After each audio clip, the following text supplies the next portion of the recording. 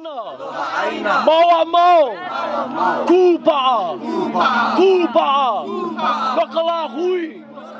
But we didn't expect, I don't know, it must have been hundreds of policemen, right? It's just, it's heartbreaking, but it's empowering because, you know, our people stood up for it and we're not backing down. Let our kupuna stay on our shoulders as we holo mua kanaka. Imua! Imua! Imua We don't even get this kind of protection for our community.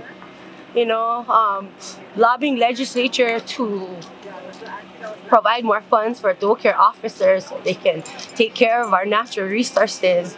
We don't get that. We've had to police our own shorelines for the overfishing and the illegal fishing happening there. And so for me, to see all these resources being poured into a project like this that's supposed to be for our community, I don't think that's no.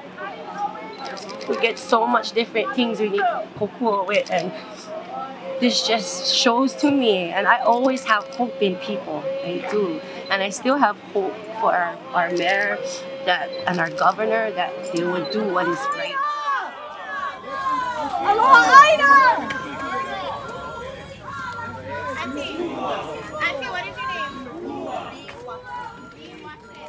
there were those who opposed the project um, showed up, and we respect everyone's right to express their First Amendment rights. You and the media know how that important is. It is the First Amendment because it's the most important.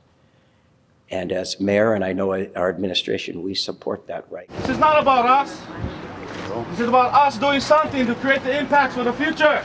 I believe, you know, once they see all of this, it's going to be Oahu's Mauna Kea. People are going to keep on showing up. We're not going anywhere. It's not done until, like, we know it's squashed. Like, knowing it will be squashed, I mean, like, everything.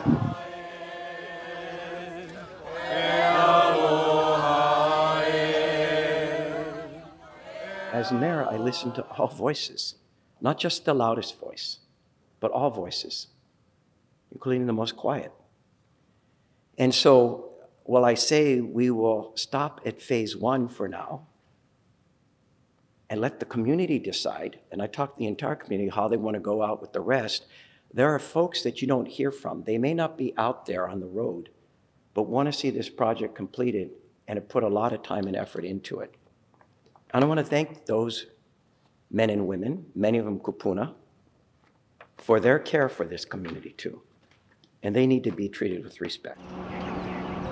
At this point, I can't really speak for the mayor as to why he felt that was so important to do it that way today, but I think definitely it could have been and should be handled better as we move forward. I think that um, we definitely have to maintain a sense of order in our city. At the same time, we definitely need to make sure that elected officials are doing all they can to move through all the steps and the process of doing um, projects in the community in a way that the people feel validated and they feel like their concerns will be heard so we don't end up in this type of situation.